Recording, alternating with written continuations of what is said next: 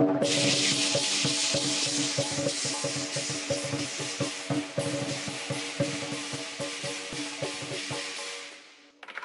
barongsai dengan musik itu ya diperlukan dia harus selaras. Karena kalau dia nggak tahu pasti dia begitu dia main ya dia nggak tahu musik ini harus bergeraknya apa. Pukulannya memang ada jenis-jenisnya. Jadi setiap perguruan itu mereka punya ciri khas masing-masing perguruan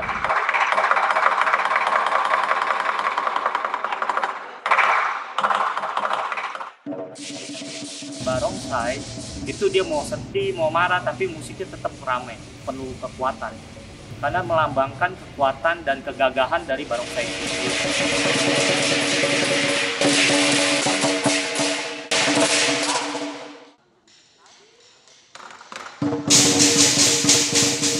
pemilihan itu ya kita lihat kembali lagi ke dasar.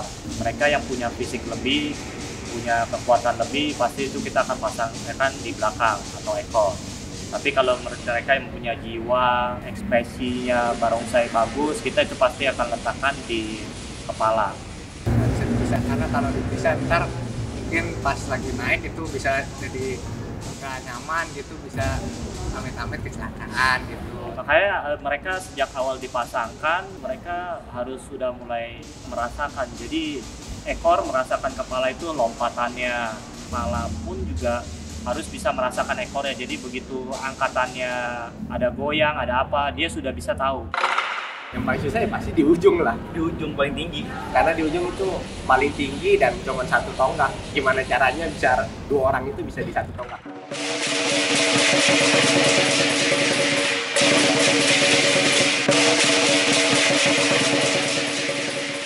Sekarang sih udah enggak sih karena konsep ini udah nggak beda-beda suku agama dan ras mulai dibilang ya kita nggak ada perbedaan apa pun.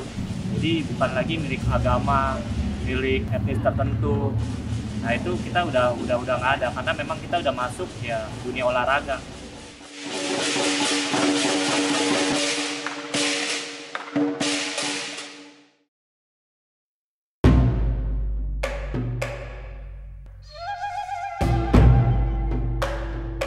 kalau dulu memang kan identik dengan wihara, kelenteng.